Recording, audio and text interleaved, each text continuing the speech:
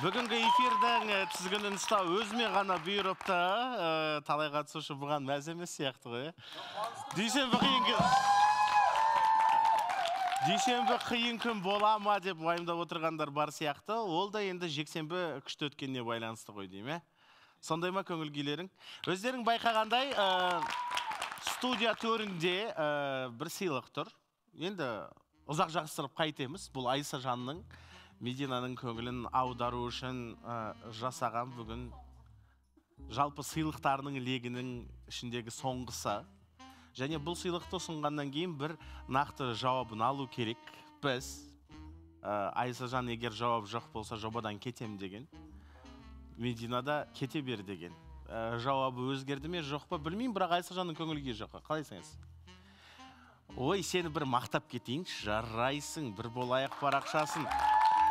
Жексенбі күні ә, не болып жатыр деп бір қарап қалсам керемет бір кәдімгі басы бар ортасы бар аяғы бар мәні бар мағынасы бар. Буа дедің ғой дей ме атаңды? Иә иә бубаңның қасына барып дұрыстап тұрып жүргізіпсің жарайсың. Менің ойымша ә, халлей ә, сыйлығына әбден лайық дүниелерді жасады. Сондықтан айсажанға біздің де сыйлығымыз болсын жарайсың айсажан. Өмірің осы халлейде тәтті болсын. Енді сол ә, стористер легінен кейін кішкене көңіл күйің көтеріңкі бәрі жақсы бола ма деп сөйтіп ойлаған едім енді ол ол жағынан шах мырза басқаларға қатысты болғанда көңіл күйім әрине бар. Әрине адамдармен сөйлескенде веселый боламын бірақ жеке өз ойларымен қалғанда или жалғыз енді кешкі түнгі уақытта жалғыз қаламыз ғой сол ойлармен бір депрессияға ма бір грустный жаққа кетіп қаламын сол үшін кішкене- өзіңмен өзің қалғанда ойлар мазалап Иә. қинап жібереді дейсің ғой иә медина жоқ деп жауап беру ықтималдығы бар ма өзің қалай ойлайсың енді менің ойымша иә дейді шах мырза сенің ойыңша иә дейді Мен бірақ сенемін соған, иә. көзіңдегі мұң бірақ енді шындыққа келетін болсақ енді жоқ дейді наверное. Жоқ дейді? Но мы верим в лучшее. Деп ойлайсың бірақ жақсылыққа сенейік деп отырсың негізі мен айта кетсем бола ма өтініш. Баршаңызға қайырлы күн. Ә, жалпы мединаның иә дейтіні белгілі ғой олай ойнатып не істемей ақ қойыңдаршы өтініш жалпы. Шынайы жобада шынайы болайық ше рахмет. Иә шынымен де мейірбектің прическасы сияқты шынайы болайық өте күшті Да, шаш билеген кезде былай басында айтпақшы иә бүгін ә, айсажан жобадан кете ме деп сұрап жатырмыз. Бір қатысушы жобаға келеді ана жерде бір орындығы бос тұр. Және ол, ол қатысушы келіп сіздерді таңғалдырады. Несі мен оны қазір біраздан кейін айтайын. Сонымен қатар бізде діл бар. Өміріне үлкен өзгерістер енгізді деп айта аламын. Бүгін студияда жоқ өздеріңіз байқағандай. Бұл өзгерістер жалпы қатысушы болуына кедергі болуы да мүмкін. А, бірақ ә, қатысушылықта да емес мәселе. Менің ойымша діл бар. Кәдімгі тағдырын баяндайтын бір шешім шығарды деп айта аламын. Және өкінішке қарай бүгін студияға келмепті. Ә, бірақ дей келе бұл мәселені де талқылауымыз керек деп ойлаймын дей келе бүгін талқылайтын мәселелер көп. Дайынбыз ба? Ендеше ортаға кәдімгі бір болайық жобасын құдды бір дорамаға айналдырған бір жұбымыз бар. Соларды шақырып әңгімелерін тыңдайық. Мәриям келе ғой ортаға.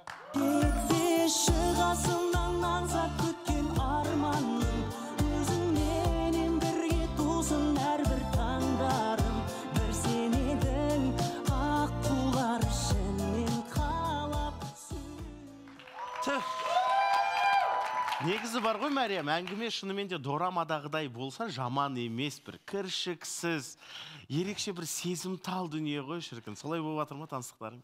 Ә, негізі иә ә, өте жақсы күшті таныстық болып жатқан. Жатыр вроде білмеймін енді. Бә- мен тарапымнан барлығы жақсы күшті.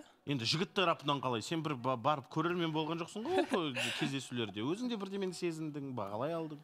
Иә ода да бәрі жақсы болған. Ә, жақсы эмоциялар алып жатырмын деп айтқан болатын. Ә, өте қуаныштымын деп солай көңілмен бөліскен. Мына қыздың бір гәбі бар ғой дей ма бірдеме жасырып отыр ма? Бірдеме бүлдірейін деп отқан түрге ұқсайды мынау мен ба? Иә. Ә, мен енді бүлдірмесем. Маған кіршіксіз махаббат қажет емес. Мен абьюзерді аңсаймын деп отқан бір Жоқ. түрге ұқсайды. Жоқ жоқ ондай емес енді. Абьюзер может абьюзер менмін ба қазір бәлкім бәлкім әбден. Сен жалпы өзің абьюзер болуың мүмкін бе? Иә ара қатынастарыңды бір саралап көрші. Енді ел құсап айт бетіңе баспайыншы қанша рет жұп болдың анау мынау деп. Жалпы енді тәжірибең бар ғой. Иә. Сол кезде сен ә, жалпы өзің абьюзер болдың ба? Күміс ол онда- абьюзердің нөмір біріншісі ондай моменттер болған. Мен андай үндемей жүріп жасаймын ғой бәрін. Үндемей жүріп адамды жындандырып жіберемін деген сияқты ғой. Сөйтіп асланды да жындандырдың ба не? Енді ол вроде жынданған жоқ сияқты. Өй мүлдем ашулану функциясы өшіп тұрған бала еді ғой. Иә. Ашулану функциясы жоқ. Сол жағын ұнайды маған. Характері күшті. Ә, не айтсаң да өзің білесің өткен деп жолы ипіні ипіні деп ән айтып еді. Осы жолы не айтады екен? Көрейік аслан шақырайық ортаға. Келе ғой.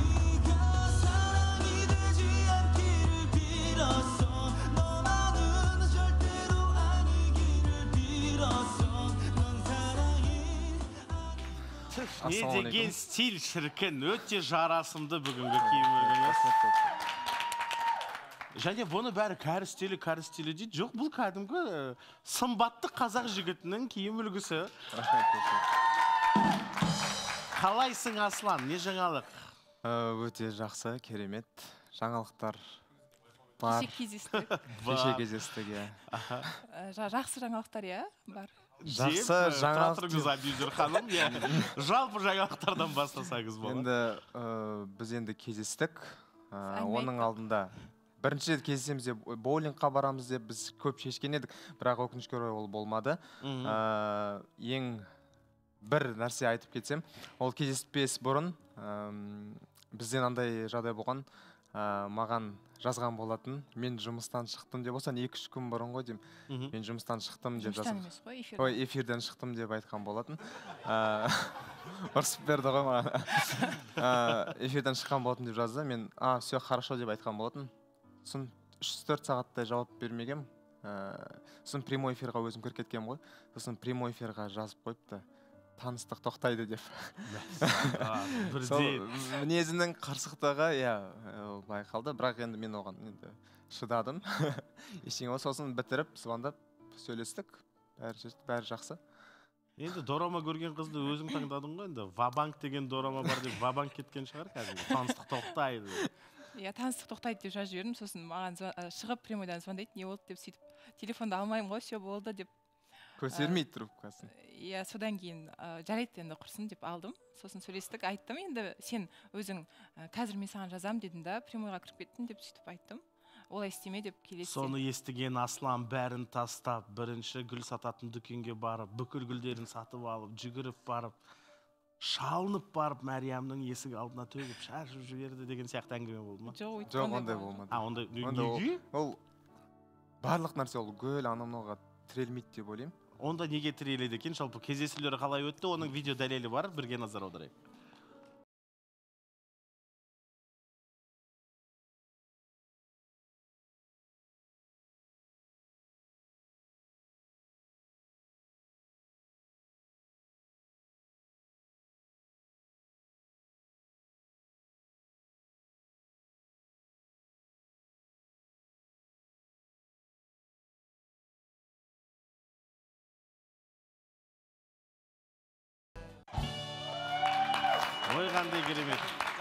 Мәриямның ауласында жүрмеген жерлерің қалмапты иә керемет иә. Бұл сенің аулаң ғой? Иә. Сол ә, ылғи мені кездескен сайын үйге дейін шығарып салады. Енді мен қаланың шетінде тұрамын ғой. Ә, сонда да үйге дейін шығарып салады. Алдында қандай шеті ол? Ортасы ғой жоқ ортасы емес. Бірақ менің үйімнен алыстау. А сенің үйің қаладан біраз алыс қой. А қаладан сен, кімнің біздің ерасылдың көршісі едің ғой көшіп кеттің ба не? Иә көшіп кеттім. а мәссаған ондайың бар ма? А қаланың шетінде тұрады екен Ә, сосын мен деген ә, үйде болған кезде екеуміз телефонмен сөйлесіп жатамыз сосын мен айтамын ә, мен деген магазинге уже түн сағат бір жарым ба сондай болып кетті. Магазинге бару керекпін бірақ қорқып тұрмын деп айттым да сосын ол айтады. Мен барып магазинге сені алып барып қайтып үйіңе кіргізіп жіберейін ба дейді сосын иә иә деп айта салғанмын ғой. Сөйтсем дайындалып кәдімгідей келейін деп жатыр ғой түнгі бір жарымда. Сосын мен шығайын деп жатсам қазір таксимен келемін күт дейді мен айтамын ойнап айтып жатырмын мен келмей ақ қой дедім да өзім барып қайтамын деп. Сонымен шынымен де келейін деп жатқанын ә, естігенде м, таңқалып қалдым бір жағынан ә, қуанышты болып қалдым. Видеозвонокпен сөйлесіп барсам да жеткілікті деді. Сосын видеозвонокпен сөйлесіп магазинге барды. Солай. Түф қандай тәтті әңгіме негізі иә? Шынымен де бір дорама көріп отырғандай болдық. Э, және бұл таныстық та солай өрбіп жатыр. Енді дорама көргіштер бар ма араларымызда? Жалпы мен А, дораманы негізі айта кетсем бола ма? Болады болады қазір мына сұраққа жауап беріп алайықшы. Нәзік нәзік. Э, сен дорама көресің ғой иә? Дорамаларды бәрі осылай тәтті басталады. Екі элемент жетпей тұр. Қандай? Э, треугольник любовный. Ол бір. Екіншісі оған дейін болатын. Оған дейін, ну драма бір нәрсе драма бір нәрсе менің ойымша дұрыс айтады. Екі элемент жетпей тұр. Біреу енді дорама болғаннан кейін міндетті түрде бір ән болу керек сияқты иә енді. Ипіні ипіні деп ән айтқаннан кейін бүкіл жаңағы дорама көретін біздің көрермендер өтініш бір ән айтқызыңдаршы екеулеріне деп бізге бір тапсырыс берген еді. Рахмет бұйымтайымызды қабылдап кәдімгі екеуі бір ә, туындыны дайындап келді білуім бойынша. Екіншісі жаңағы тағы да бір үшінші адамның қосылуы қажет иә? Мына жерге. Бұл әңгімеге бір интрига. Бірақ ол үшінші адам кімнің тарапынан қосылады? Аслан сенің тарапыңнан ба мәриям сенің тарапыңнан ба? Енді біз кеше кездесуде болған кезде ох мәриям тарапынан сияқты. Ендеше әуелі әнге кезек береміз ба? Иә. Сөйтеміз бе? Қошеметпен ортаға шақырайық. Екі микрофонды сынса сына кел сына кел.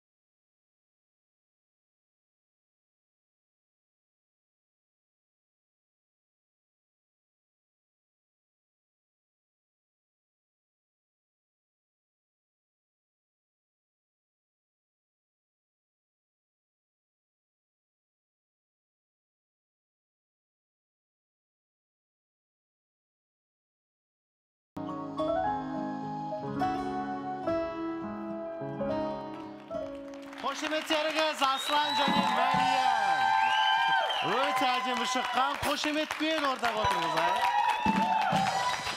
екі микрофонды қайтарсаңдар әйтпесе ә, мейірбек мына жерде ұрыса алмай қалдым деп уайымдап отыр. А иә күмісай екеуі өте әдемі шыққан қателеспесем ыстық ұяның саундтрекі ғой иә бұл? Иә.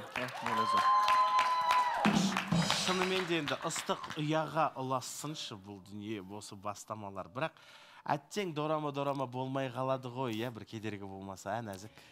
Мен мынау бейнені көріп прям ә, аслан өлең айтқанда прям көзімнен жас шыға жаздады байқадым байқадым. Нәзік кәдімгі ішіне кіріп кеткен ғой иә еще дораманы есіне түсіріп прям ә, мен ойлаймын ә, талантты адам ә, көрініп тұрады. Ә, мен өзім бұрында өнерде жүрген соң талантты адам сразу көрінеді ішіндегі таланты бар адам екен. Сіз бұрын сонда актер да болған едіңіз даусыңыз да керемет. Егер де ойлаймын болашақта ә, мариаммен үйленсеңіз ә, мариам ә, жігіттің бағы ашылады секілді. Себебі ә, осындай жігітке оны ә, мотивировать ететін ә, көмектесетін бір адам қажет деп ойлаймын. Өте керемет болады сіз прям мировой жұлдыз болуға прям лайықсыз бар. Мәссаған қандай теңеулер рахмет айту керек ау. Әлемдік дәрежедегі дейсің ғой иә? Өйткені сыр келбеті де түр келбеті де келеді ә, актерлық шеберлігі де бар дауысы да бар прям ана бар ғой универсальный адам. Ә, айтады ғой талантты адам бір жерде талантты дейсің ғой иә? Әр жерде таланты бар. Иә ә, шах мырза нәзіктің қолына түспей отырсың баяғыда жұлдыз болатын едің иә негізі Ә, ау не дейсің? Енді ма- мариам ең жақын адам ғой ол жақта отырған ең жақын адам. Мен де сол мына жақтан мен айсажан деп ойлаған едім. Жарайды аха айта бер. Ә, мына жақта бір тәтті жұпты көріп отырмын да бір болашағы бар сияқты. Екеуі де негізі кореяға қызығады болашақта үйленіп жатып кореяға көшет, көш кетіп нәзікке айтқанда қосыламын да сол жақта бір күшті бір бастамалар бастаса екен деймін да. Ә, шынымен де ә, екеуін де танығаннан кейін бір керемет көріністі көріп жатырмын да. Ә, болашақта дальше осылай ә, ешқандай нәрселерге қарамай бірге болғандарыңды қалаймын. Жаңа енді дорамада үшінші адам деп жатыр ғой сол үшінші адам негізі всегда лишний болады да соны ысырып тастап лучше екеуің бірге болғандарың дұрыс иә сияқты шах мырза мен де болашақ көре аламын ғой адамдарда мен де бұл жұпта болашақ көріп жатырмын негізінде. Болашағы бар. Болашағы бар. Иә шах мырза айта кетсем болады ма? Мында айтып жатыр ғой.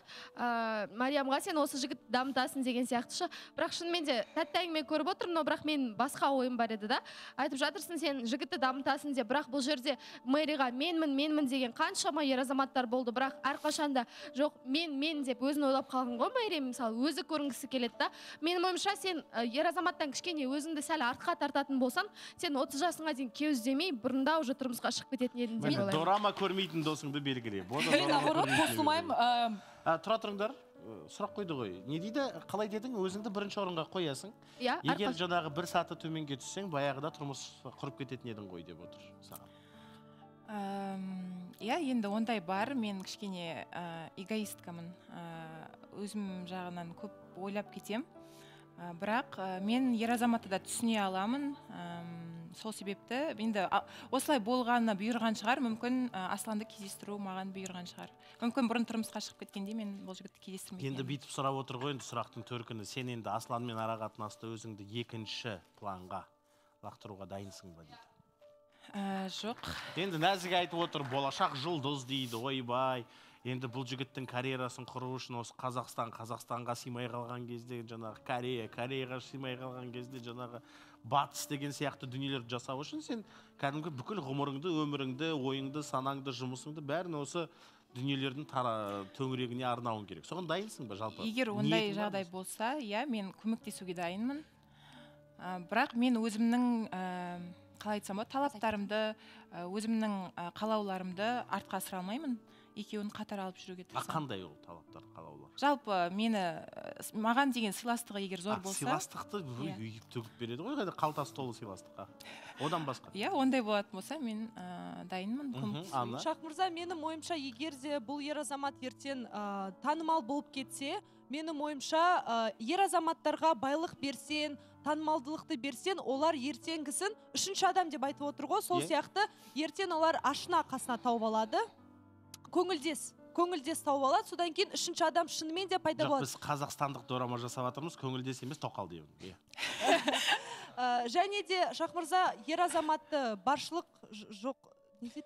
Жоқ мен а ерді ә, жаңағы қызды жоқшылық сынайды ұлды жаңағы тоқшылық сынайды деп иә сол сияқты менің ойымша ә, мариямға ә, бір сатыға төмен емес өзіңді дамытып бірақ барлық әйелдерге айтқым келеді ер азаматтан сіздер ә, зависеть етпеулеріңіз керек сіздер өздеріңіз дамып өздеріңізге қарауларыңыз керек деп ойлаймын. Себебі ертең шынымен де ер азаматқа тәуелді болып қалсаңыздар ақша бар кезде олар сіздерді басынып екінші әйел қасына алып алады деп ойлаймын. Бірақ келіспеймін ә, себебі аслан ә, бұрыннан сон ә, уже актер болып бірінші главный рольда ойнаған еді. Осы кезге дейін қаншама қыздарды артынан жүгірген еді. Сол кезде ол міндетсініп жүретін еді. Бірақ та қазір қарасам қарапайым жігіт секілді. Көп красавчик жігіттер көп қыз қараған соң былай болып кетеді ғой. Стопудово жүз қыздай жазады оған бірақ та нәзік көп қойдым болды. Апасына саған олай қатты мақтай. Шахмарда мен айтып мен негізі ботаның айтқанына келіспеймін. Мына жерде айтып жатыр ғой ер азаматтан кішкене төменге түскеніңде мүмкін тұрмысқа шығып кетер едің деп. Мен наоборот ә, бірінші ә, әйел кісі ә, өзінің бар нәрсесін ә, еркек үшін жоқ қылып жібер, жібермеу керек. Наоборот өзін дамыту керек тұлға ретінде. Всегда ә, жаңағы енді көп жағдайлар болып қалады ғой. Мысалы үшін менің өмірімде мен маған жұмыс істемейсің біздің әулетте ә, әйел кісі жұмыс жасамаған. Біз өзіміз бағамыз деді. Енді баққанда енді ну и қойдым мен барлығын жарайды деп. А бірақ баққанда жоқ ажырасып кеттім. Ажырасқаннан кейін мен барлығын нөлден бастауға тура келді. Маған кішкене қиын болды. Сол үшін мен ойлаймын ә, ер азамат үшін ә, өзіңді өшіру ол дұрыс шешім емес. Яғни ер азаматың үшін ә, бәрінен бас тартып жұмыстан бас тартуға болмайды жұмысқа шық дейсің бұлардың логикасы яғни екен. өз ер азаматына бағынбау үшін ақша үшін басқа бір ер азаматтарға бағынуға жұмысқа шығу керек дейсің енді солай ғой енді. Жоқ ә, сені солай сені өшірмей ә, сол қалпыңда қабылдай алатын ер азамат табу керек. Қайда екен ол ер азамат білмеймін енді. Күмісай ә, бір студия болып күмісайға іздеп жатырмыз бірақ табылмады.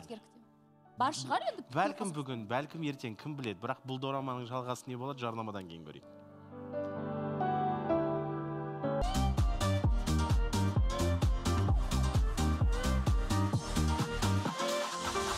Әдемі бір дораманың куәгері болып жатырмыз бірақ енді әр дорамада тағы да бір интрига қосылу керек қой. Сол бола ма деп қорқып отырмыз. Бұл арада айсажанның сыйлығын қарадым мәссаған шынымен де солай ма не? Жалпы прям соншалықты ма не? Дәл солай ғой шахмарда қатты прям кеттің ау датаво ғой прям датаво қатты кеттің ау енді дұрыс. Қой енді шах мырза ұзақ уақыт ы, ой айтпаймын ештеңе қазір білініп ештеңе қойды айтпай ақ қой жарайды енді уақыты келгенде өзі сөйтіп ортада ә, бір жаңағы дорама кейіпкері бір арбузер отыр сонымен. Енді ол кеше сөйлескен кезде ә, ватсаптан мариям бір нәрсе көрсетемін деп айтқан мамасының жазған соны көріп жатқан кезде сафин данияр дегенді көріп қалдым да мен. Қайда қайда? Қайда? Ватсаптың ішінде. Мариямның ватсабының Иә. ішінде бәсе айттым ғой осындай бірдеме болады деп сөз сосын сосын енді мен не айтарымды білмедім ыыы енді бір қызғанған емес просто как то дұрыс емес деген ой болды ыыы сосын не деп жазып едім деп енді сұрадым иә сосын айтты сол түсімде көрген едім сол үшін түсімде көрдім деп жазған едім ол бала одан да ештеңе айтпай ақ қойғаны дұрыс еді иә сөйтіп данияр түсіңе кіріп жүр ма? Иә. Ә, сол мен суббота өңіңде күні ұйықтасаң түсіңде данияр сафин. Жоқ мен суббот біз негізі дос ретінде араласамыз ғой мен түсіндіріп айттым. Ә, біз кәдімгідей м, отырып сөйлесіп дос ретінде қаламыз деп осылай ә, расставаться еткенбіз. Сол үшін менде оған ешқандай сезім қалған жоқ. И ода да маған сондай ешқандай сезім жоқ деп осылай түсіндірдім асланға. Және де мен суббот күні ауырып қалған болатынмын. И менде қатты көңіл күйім болмай сөйтіп ұйықтадым. Сол күні даниярды түсімде көрдім. Өйткені көп болды. Біз сөйлеспей ә, қалған болатынбыз.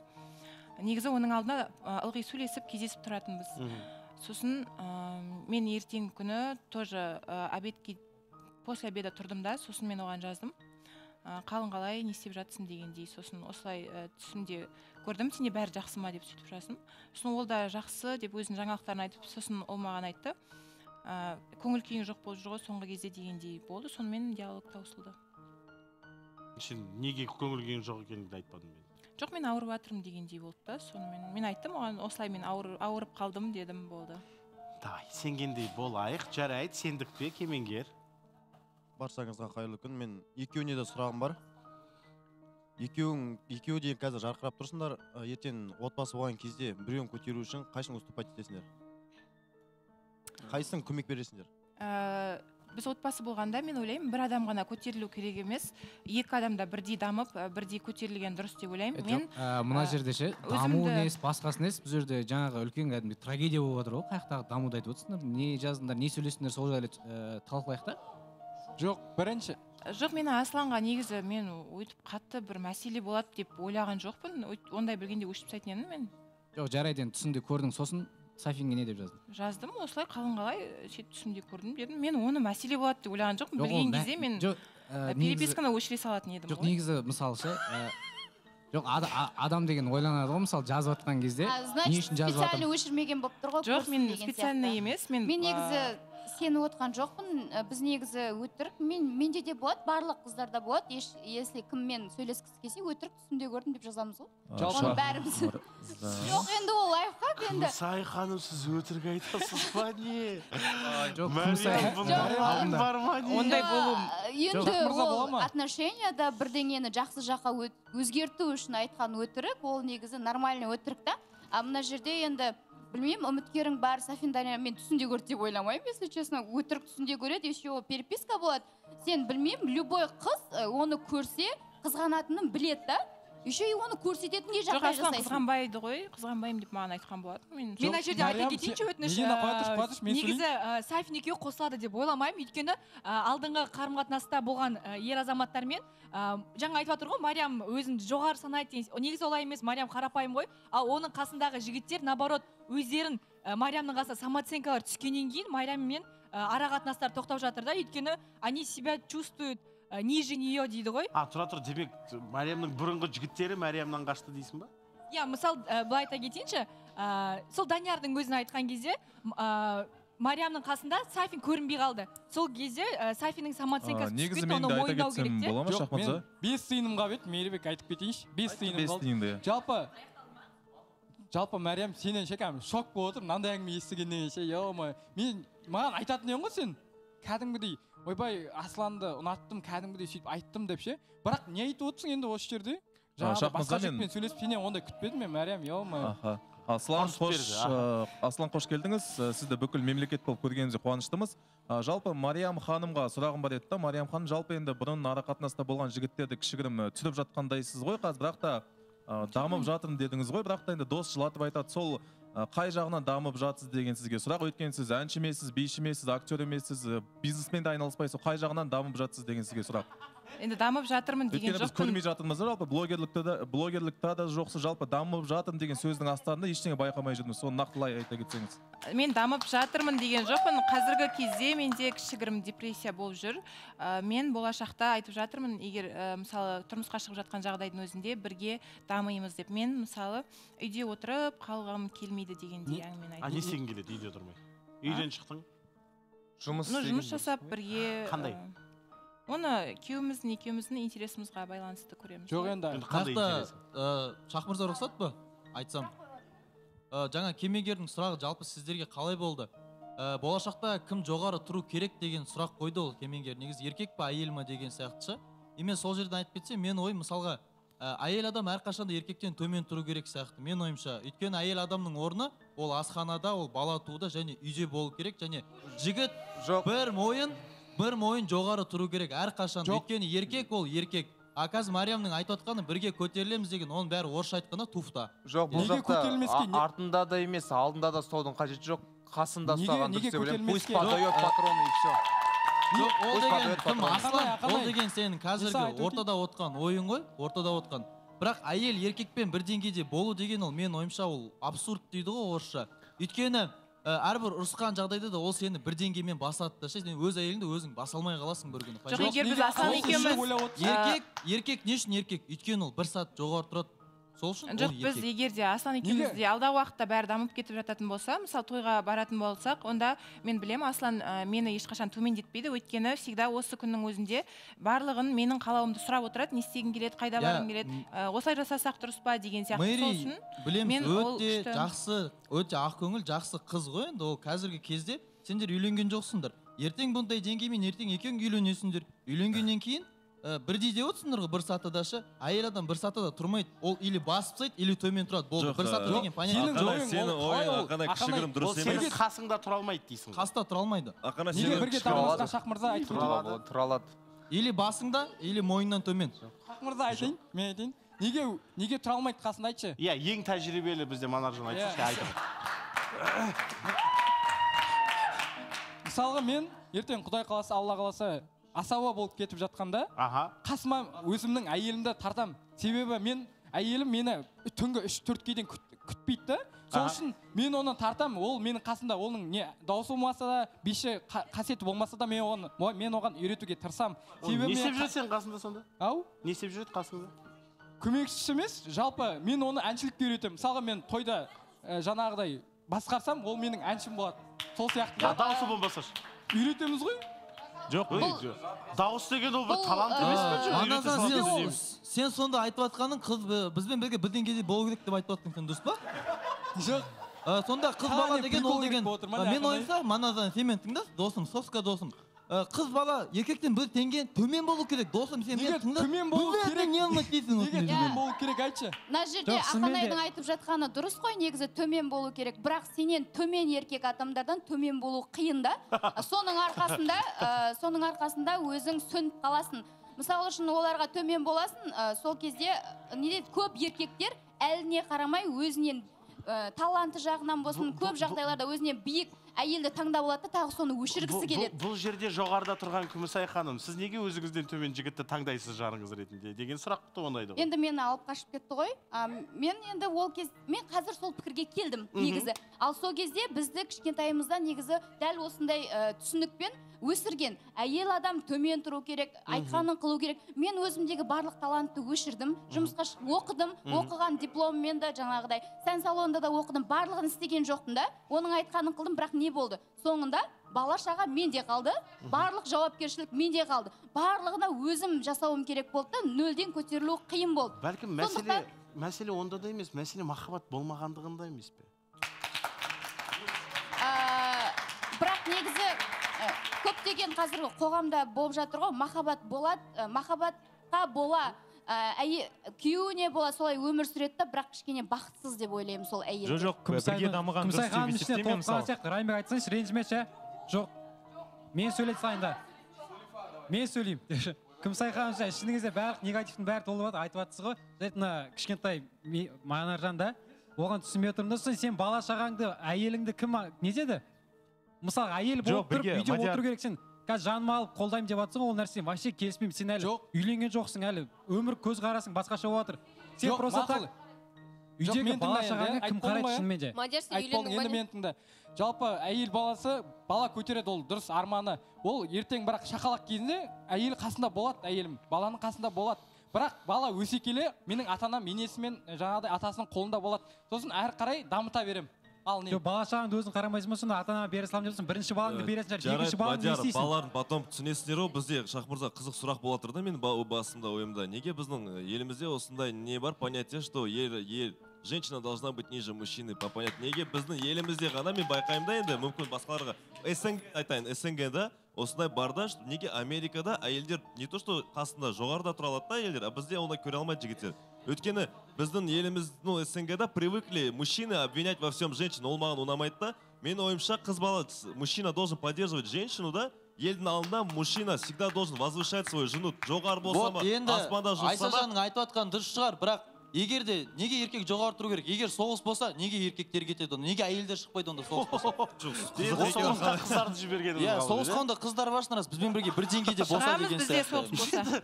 бұл сөздерінен кейін онда шынымен де матриархат орын алып кетуі мүмкін. Мына жерде енді айсажан мединаның иә деуі үшін түрлі түрлі пікірлерді айтып кәдімгі әйел жоғары тұру керек деп тырысып жатыр Ә, бірақ енді менің естігенім сафин данияр түсіме кірді. Мен сол үшін оған жаздым.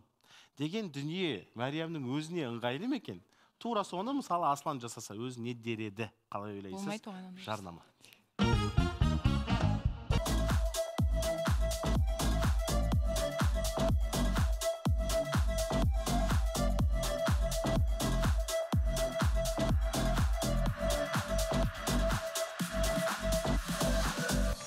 Бұл жерде бұл музыкамен емес кәдімгі мадина ералиеваның әнімен кіруге болатын еді. Кірмеші жиі түсіме жұлдыздай ағып өткесін деп. Тағдырдың салған ісіне не істейсің жаным не істерсің? Енді тек қана түсіңе кіріп жүргені де жақсы ғой бір жағынан өңінде болмаған иә ә, негізі бір мен одан бір жаман нәрсе жасап қойдым деп ойламаймын өйткені мен адамды тура соны түсті тек қана сен көрмейсің ғой эксклюзивті құқық сенде ғана жоқ қой иә? Асланның да түсіне талай дүниелер кіруі мүмкін мысалы иә? Тура солай Жоқ, оған болмайды, қарашы асланның түсіне күтпеген жерден жанель кірді ол алдыда жанель түсіме кіріп жүр. Білмеймін мысал ретінде келтіріп отырмын ғой. Жанель түсіме кіріп жүрсің. Қалың қалай деп жазды сенің көзінше. Ол сен болмайды. үндемейсің иә болмайды? Неге болмайды? е түсіне кіріп жүр ғой енді? Жақсылыққа жорып бәлкім ауырып жүрген шығар. Иә, депрессияда жүрген шығар. Кім біледі? Аслан ондай сен ондай Шах мырза. жоқ аслан ондай жасамайды өйткені. Енді аслан түс көретін шығарсың қарағым иә? Солай ғой иә? Көремін ғой бірақ сен өйтіп жасамайсың ғой ә, сен сен сен үшін менің көңілім қатты маңызды. А сен үшін асланның көңілі бес тиын дейсің ғой иә? Солай ғой. Маңызды. Ә, бірақ ә, мен өйтіп ондай мен өшіріп тастайтын едім. Білмей қалдым просто мен. Ол андай ситуация болды да еді. Ол мен де өшіріп тастасам. Мен онда білмей қалсам жарайды. А бір көрсетпей ііі түс көре бер деп отыр ғой саған. Көрсетпесең болды. Білемін бірақ ол олай жасамайды. Қазір мэридің самооценкасын ұстап алайық иә қай жаққа кетіп қалды. Жоқ жалпы мэри қазір жігітті енді астарлап түсіріп жатқан сияқтысың ғой ашық болмаса да приколым өтпей қалды кешірім сұраймын. Жалпы былай айтқым келеді да енді сафинға үмітің бар екенін білеміз ғой жалпы бірақ саған айтарым сафин саған қарамайды он уже птица не того полета чтобы сенімен жүретіндей. Және де өткен жолдың өзінде саған мысалы гүл беріп нақтылай айта кетті мариям болды менен үмітіңді үз деп бірақ та менің ойымша саған қазір сафиннан үмітіңді үзіп нормальный вариант келіп тұрған кезде ұстап қалуың керек сияқты. Өйткені саған сафин қарамайды болды уже сен уже оның бесінші сезонында қалып кеткен адамсың да ода қазір жетінші сегізінші сезон болады өмірінің. Сол секілді мейірбек үмітіңді ә, мединадан үзе ғой. Аха нәзік рахмет. Жоқ мына негізі айтып жатыр ғой мен ешкімнен үміттеніп жүрген жоқпын. Біз ә, дос ретінде енді жақсы араласамыз ғой. Сол себепті ол да менен арасында сұрайды қалың қалай дегендей. Сол себепті мен оны қатты бір маңызды осылай шығып кететін дүние деп ойлаған жоқпын. Бұл қызғаныш деп ойлайсың ба? Қызғаныш емес. Қызғаныш емес қой иә бұл аслан? Бұл қызғаныш болмаса не? Бұл сізге қалай айтсам болады жоқ иә енді бір жағынан ойландым неге бұл нәрсе дұрыс емес сияқты ғой деген нәрсе просто ойыма Неге? келді. Енді бұрынғы адаммен сөйлескені жай танып сөйлесе бірақ түс көрдім деп жазғаны мен үшін біртүрлі болды. Қызғаныш па? Қызғаныш емес қызғаныш емес онда не? Қызғаныш емес. Білмеймін жоқ кеше өзі айтқан болатын мәриямның маған- саған деген бір ақ қана талабы болды иә? Сыйластық деген. Сыйластық сыйластық деген не? Сіздер күшті талап қоясыздар да сыйластық. Мені сыйласын ананы сыйласын мынаны сыйласын не ол сыйлау деген? Қалай? Сыйлайтын адам не сыйластық істейді? деген ә, ол басқа адамға ол бәлкім деп ә, бүйтіп істесем бұл адамның көңілі түсіп қалады ау ыңғайсыз болады ау содан кейін ойланып қиналып жүреді ау түсіме кірмек түгілі өңімде жүрсе де жазбай ақ қояйыншы мен соған сыйластықты білдіре, білдірейінші осы жігітке деп ойлану осы сыйластық емес пе? Иә оны оны мен ә, түсініп тұрмын. Бірақ асланды мен оған дейін қан- ә, көп рет ә, не істеп ренжітіп қой ренжітіп дегенде кішкене көңіліне тиіп қойған кездерім болды. М, сол онда кешегі мынау сол- нағыз абьюзер ғой қатты көңіліне тиген кезде ол кешірді. Демек одан әлсіздеу көңіліне тиюлерді жасай беруге болады деп ойлайсың иә? Шах мырза. Енді соңғысы кеше соңғысы болды сол одан кейін енді енді өйтіп жасамаймын Шах мырза рұқсат па айтайық. анна айтам деп жатыр иә айтам. Айт. өзім ақ айтушы едім. Шах мырза мына жақта бағана айтады ғой біз қыз е- ер, ер азаматтар бізден жоғары болу керек со- соғыс кезінде ерлер ғана соғысты дегендей. Жоқ менің айтқым келетіні ы, соғыс кезінде біздің ы, әлия және мәншүк маметова деген қыздарымыз да болды. Және де бұрынғы батыр қыз томирис та болды. Және ке- о қыздар бізде ы, соғыс кезінде егер әйел азамат болмаған кезде сендер жарақаттан өліп қалушы едіңдер. Ал жақта әйелдер сендерге көмектесті тылда да олар жұмыс істеп сендерге барлығын көмектесті Иә, сондықтан біз бәріміз бір сатыдамыз. Ешкім жоғары бір сатыда деп отырсың ғой енді. Бірақ ә, сен бағанадан бері әңгімеңді бастай алмайсың оны бастап беріп тұрған саған мен ғой значит мен біріншімін Жоқ, сен потому что еркек соның үшін жоғары тұрады. Неге? Қыздар давайте спорласпай ақ қояйық просто логически ойланшы анна данный момент сенің сөйлесіп жатқан телефоның сенің ғаламторың отырған орындың сөйлесіп жатқан микрофон оның бәрін істеген еркек. Әйел оны әйел азаматтар да бар. жоқ. әйел азаматтар да бар. оларды просто шығарған жоқ. себебі сол кезде ер азаматтарды жоғары жоқ сен тыңдашы сен мен сені тыңдадым сен соғыс туралы айтып отырсың. Иә біздің батыр қыздарымыз болды. Бірақ соғысты ұтқан 90 процент ол еркектер. Давайте оны мойындайық. Мысалы сен айтып отырсың ғой бір деңгейде болғымыз келеді. Сенің алдыңда Ақанай, неге айтайын ба? болды. мен Өйткені- айтып болған жоқпын. Алдыңғы үміткерің ақыл болды дұрыс па? Екеуің жүрдіңдер сен өзің де сонымен бір деңгейдемін деп санадың ба? Бір деңгейдемін деп ойладың иә, иә? Иә. қалай сен бір деңгей боласың онымен? Сен ол үшін ешкім емес ода бәрібір сенде ештеңе жоқ. Сонымен бірге жеткен жоқсың оған сендер қыздар вообще қызықсыңдаршы мен сендерге таңғаламын. Айтайын ба неге? Өйткені сендер мына жақта отырасыңдар да. айтасыңдар жоқ мен айтып біткен жоқпын. Қыз тыңда сен мені. Айтып біткен жоқпын білесің ба неге? потому что мынандай да. Сендер сонда деңгейлерін ақшамен вот қарашы анна мен айтып біткен жоқпын. Мен до конца тыңда. Мен айтып біткен жоқпын. Сен күшіңді маған көрсетпе мында мен саған күшімді көрсетіп отқан жоқпын. Көрсетіп жатсың сөйлеп жатсың дауысымен жоқ, мен сен- жеңе аласың мен жеңе саған алмайсың айтып ер азамат болып мен қызға саған сөз бере алмайсың мен саған айтып жатырмын сен тыңдай алмайсың даже. Сендер қыздар отырасыңдар да айтасыңдар ой маған бай жігіт керек обеспеченный керек деп ше сендер қалай ол жігітпен бір деңгейде бола аласыңдар? Егер ода бәрі бар вы понимаете бір деңгей болмайсыңдар сендер. Если сен онымен онымен келіп по ступеньке бәрімен бірге жетсең базар жоқ иә бірге бол. Бірақ сендер отырасыңдар да маған бай керек оның күшті машинасы болу керек двухэтажный үй болу керек телефон последнего поколения сен оған келесің да үйленесің. Ты для него никто вторая ступень понимаешь? Бір минут, пожалуйста, айта кетейінші. Кезекпен тұра тұрыңдар айғайламаймыз тыңдашы. 我咋？Айта салайыншы шах мырза бұл жерде айтып жатсыңдар ғой. Ақанай мен сенің сөзің жартысымен келісемін жартысымен келіспеймін. Бірақ анна ақкенжеге қазір сіздер бұл жерде қарсы шығайын деп отырсыздар ғой. Неге әрқашанда біз шын мен осы күнге дейін феминистка болатынмын бірақ қазір мен ойлап тұрмын да керек емес біз еркектерден асып немесе бір сатыда болып төмен бола салайықшы. Себебі мен қазір өзімнің ара қатынасынан айтамын. Ер азаматты сүйреп жүрген өте қиын оның басын алып жүрген. Лучше біздің орнымызға шешім қабылдасын. Біз айтқан тыңдап жүре берейікші. Бота Сол- сондай еркек болса.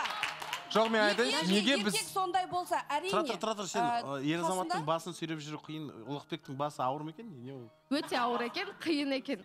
Ұлықбектің басы ауыр дейсің ба деймін. Ұлықбектің басы ауыр екен шынымен де.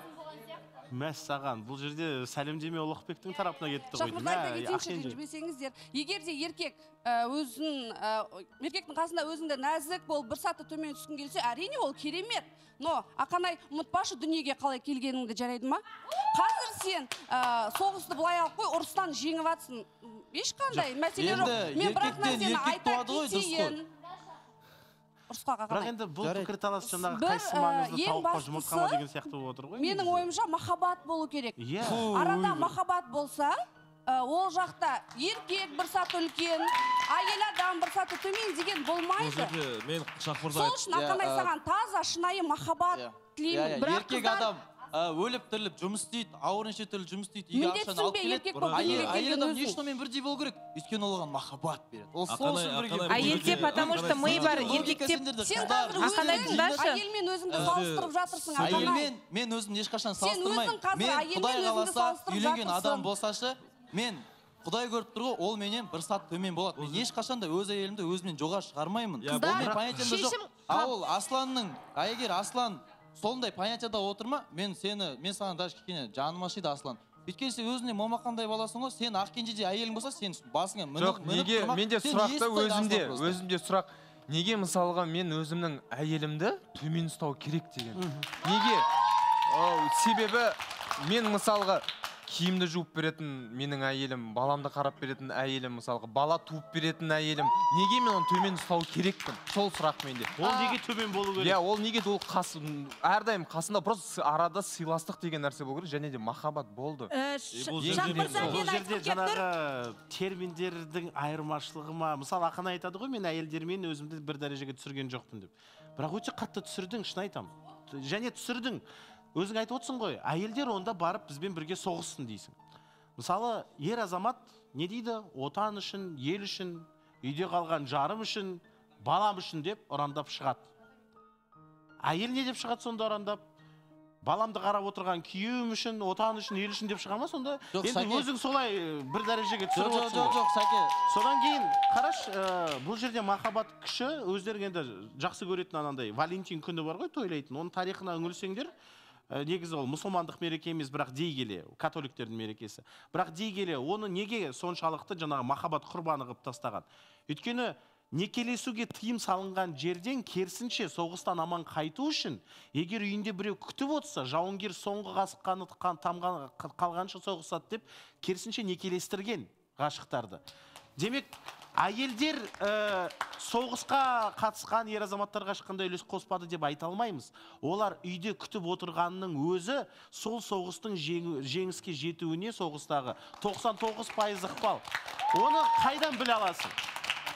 Жди меня и я вернусь только очень жди деген сияқты. Оқыдың ба юно литература әдебиет деген дүние. Ә, негізі бұл жерде бар ғой әйелмен кім бірінші тұру керек деген сияқты пікір таласқа түскен сәттен сен өзіңнің дәрежеңді жоғалтып аласың. Бітті яғни жоқ. Ал енді қарашы мысалы сен айтып отырсың ғой неге ол төмен болу керек деп. Өте қызық дүние. Неге біздің қыздар дорамаларға соншалықты білмеймін кіріп кеткен жақсы көреді? Неге? Осының бір себебін іздеп көрдіңдер ме? Біз көрсете алмаған нәрсені өйткені ол дорамадағы бар дүние олардың шынайы өмірінде жоқ. Дорама деген не? Дорама деген әсерленген махаббат кіршіксіз пәк сезім адалдық және бұлардың анандай гиперболистика дейді ғой анандай утрированный түрі он есе жүз есе күштің концентрациясы соны көреді де мә қандай күшті дейді не үшін көреді оны өзінің шынайы өмірінен қашу үшін а ол неге өзінің шынайы өмірінен қашады өйткені өзінің шынайы өмірінде бұлардың ешқайсысы табылмай жатыр. Өйткені неге? Орыстарда не дейді мысалы? Тұрмысқа шыққан әйелді не дейді? Вышла замуж дейді. Дұрыс па? Married түріктерде евлі олдың дейді. Яғни евлілік дейді. Яғни үйлі болдың үй деген сен үй салдың емес біреуді таптың демек енді сенің үйің бар біреудің жүрегінде деген сөз. Ал бізде не дейді? Тұрмысқа шықтың. Яғни күйеуге де шықпайды. Тұрмысқа шығады. Сол себепті ол кір жуу керек тамақ істеу керек сәлем салу керек ананы істеу керек мынаны істеу керек. Бұның барлығы тұрмыс қой. Және ол күйеуге шықпайды. Ол тұрмысқа шығады деген сияқты түсінік бізде қалыптасқаннан деп ойлаймын. Ал егер қарашы мысалы күмісай айтады да оның дәрежесі төмен болғанда оның дәрежесіне де түсу қиынырақ деп. А сен тұрмысқа шықпа ондай адамға. Керісінше сенен биік тұратын шын мәнінде сені қамтамасыз етіп сен ешқашан жұмыс істегің келмейтін жағдайды жасайтын күйеуді таңдасаң онда тұрған несі бар? Және ең қызығы қыздарда ә, кінә жоқ еркектерде ғана кінә дейін десең міне мәриямға келді. Мен сені төмен ұстамаймын мен сені қасымда ұстаймын мен сені құрметтеп қадірлеп өткім келеді деген кезде ә әйел анда отыр деген сияқты жігіттерге ә, жаңағы түс кіріп аян кіріп сөйтіп қуып кетеді. Неге олай ә, мәриям? Ә, негізі менің ешқандай жаман ойым болған жоқ. Ә, мен сенің өзіңе де түсіндірдім ғой. Мен ә, білмеймін қатты қазір наразы болып тұрмын. Маған ондай нәрсе сен білесің ғой менің саған деген ә, қызығушылығым бар екенін білесің. Мәссаған не деген манипуляция? Сен ренжігенің үшін мен саған ренжідім деген. Не деген манипуляция мынау? Ә, жоқ негізі бір деңгейде дегендерін айтып жатыр ғой. Ер, ер адамда күш бар да физический әйелде ми бар деген сияқты. Екеуі бірге жұмыс жасаса ол ә, өте жақсы бір нәрсенің нәтижесі болатын сияқты. Және де ә, мен енді кешірім сұраймын кінәлі болсам ә, саған көңілге тиген болса ә, енді мен ондай нәрселерді жасамаймын. Бірақ ә, сенде м, менен де болмау керек. жоқ сенде өзіңді кінәлі қылып тастайды жоқ сенде бәрі жақсы сен ә, ешқандай кінә. Менің алдымда аслан бір ә, идеальный адам сияқты болып көрінеді маған. Сол себепті Ә, қызықсыз дейсің ғой. қызықты неге қызықсыз? Қызықты. Бірақ білмеймін бәрі жақсы болатын сияқты. Ешқашан ұрыспайды. Бір нәрсе е мен ә, ренжіп тұрсам да ештеңе демейді маған. Керісінше менің көңіл көңілімді сұрайды. Ә, мен ауырып қалған жоқпын ба ренжіп қалған жоқпын ба соның барлығын білгісі келіп тұрады. Бірақ арасында прямойға кіріп кететіні бар енді маған айтпай. Ә, бірақ ә, бұл жерден де ақанайдың айтқаны да рас иә? Қасыңда тұра алмайды екен. Маған айтпай прямойға кіріп кеттің деген үстіңе шықты деген сөз ғой. Ей бала не істеп жатсың деп. Сол үшін Жоқ, мен оған тұрамын ғой айтпай кіре беремін ғой. Жо жо брат Жоқ, мен Асланға ә, всегда айтамын, сен ер азаматсың. керек, ә, бір деңгейде сөйтіп өмір сүре беру керек. Өте Иә, мен жоқ, мен Асланға- рахмет. Па- понимаешь бір екі жылдан кейін не болады? Сен қазір босатсың ғой енді орындықта бір күні сен босатпайсың сен уже мойныңда ана ошейник болады и сен бірге бүйтіп сүйреп жүресің. Жоқ менің де мен өйтіп істемеймін мен асланның басына шығып неге ол істемейді? Себебі қыз адам өзі қыздың жұмысын істеу керек еркек адам өзінің жоқ аслан досым мына жақта не болып жатқанын түсініп жатрсың ба жалпы өзің темаға кіріп жатрсың ба кішкене? Иә, қыз түсініп отыр, бәрін жақсы түсінеді. получается басқа жігіт оған аян болып кіріп тұр. Сен оған сенесің ба или сен сондай? Ол менің досым ғой ақанай просто мына жердің брат сүт болып тұр бүйтіп біреу емізіп жіберді иә мына асланға сұрақ қойсам болады ма? А, енді осы ә, жағдай болды иә? Сізге ұнамаған мүмкін қызғанбаған шығарсыз бірақ ұнамаған жағдай болды. Мүмкін ә, бұл жағдаймен қыз сізге бірдеңе жеткізгісі келді. Мен осындай да әдеттерім бар қалай қалайсың деп сіздің қалай мінезіңізді қарау керек оған? Жоқ енді мінезін көргісі келеді ғой. М, мысал үшін қызғанбай отырды мүмкін ә, мариям қызғануды күтті деген сияқты. Негізі осы жағдайдан кейін қандай шешім қабылдадыңыз? Қа- енді кішкене болсын қарым қатынасыңыз өзгере ма мариямға деген? Мариямға деген қарым қатынас өзгермейді. Неге десеңіз ә, бұл жақта ол қиындықтан болады да отношение деген. Бір қиындық болса бірге өту керек та ол нәрсені. Жеңе білу менің ойымша шах мырза мен айта айта айта бер тұра тұр тұр, айтып бітсінші қиындықта бірге өту керек. иә бірге бұл ол да бір сынақ болуы мүмкін әр нәрсе ше. Ол сынаққа төтеп беру білу керек сияқты. Сонда сіздердің формулаларыңыз қалай? Мәриям сынақты жасайды а сен өтесің бірге. Солай ма? Енді сондай болып тұрған сияқты ғой енді бұл. Ол сынақтар жасамаса болмай ма?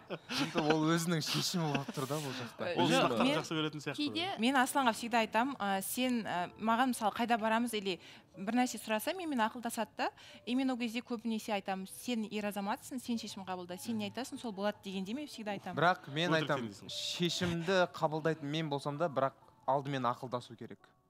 Ақылдасып сосын барып шешімді мен өзім қабылдаймын.